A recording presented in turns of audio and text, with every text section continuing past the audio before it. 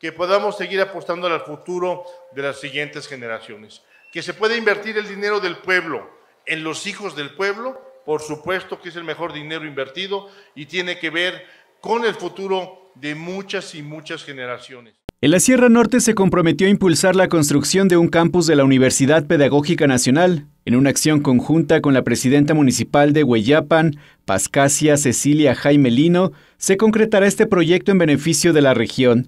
La mano de ella, con la gestión de ella, con la participación de ella, con su recurso de ella y con todo el apoyo del Estado, las instalaciones para la Universidad Pedagógica Nacional, con mucho gusto. ¿eh?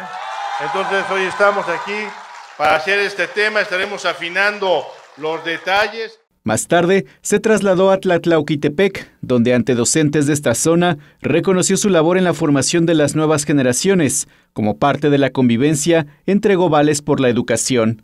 Hoy el gobierno del Estado está presente aquí como gobierno para reconocer el valor, reconocer todo el aporte que hacen ustedes y entendiendo que el México que hoy vivimos sin duda solamente puede entenderse porque pasó por las manos de una maestra y de un maestro. El mandatario reiteró su compromiso con la educación a través de acciones trascendentales como la construcción de Ciudad Universitaria 2 en la zona de Valsequillo, con una inversión de 1.200 millones de pesos que tendrá acceso para 32.000 alumnos. En su gira de trabajo por Hueyapan, entregó una constancia de rehabilitación de la telesecundaria Josefa Ortiz de Domínguez, que tuvo una inversión de 1.543.000 pesos. Para SET Noticias, a Norales.